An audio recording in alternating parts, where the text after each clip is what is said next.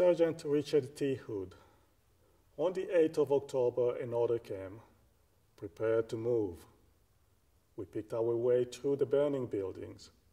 All around stood refugees, children, women, nuns. The flare from the burning lit their faces, expressionless and hopeless, and we felt ashamed. We noticed two young women. We were moving away when a voice said in good English, Don't go, please.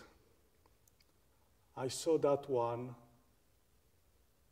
of the young women was nursing a whimpering baby. For something to say, I said, Is your baby all right? With a sad smile, she said, It's not my baby. I don't even know its mother.